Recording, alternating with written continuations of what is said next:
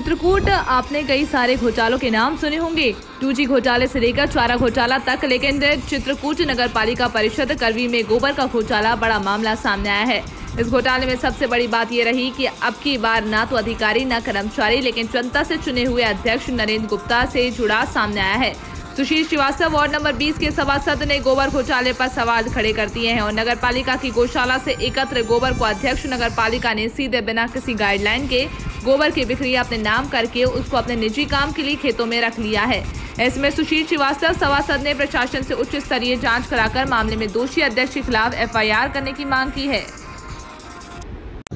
नगर पालिका परिषद करवी अध्यक्ष ने पचास हज़ार की खाद गोबर सामग्री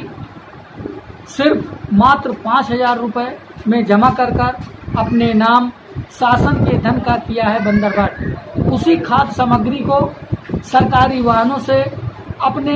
खेतों में ले जाने का किया है काम। मैं प्रशासन से ये मांग करता हूँ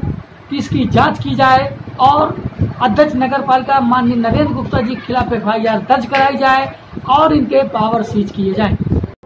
लेटेस्ट न्यूज़ देखने के लिए प्राइम ब्रेकिंग न्यूज़ चैनल को सब्सक्राइब करना न भूलें और साथ ही डेली अपडेट्स पाने के लिए बेल आइकन को प्रेस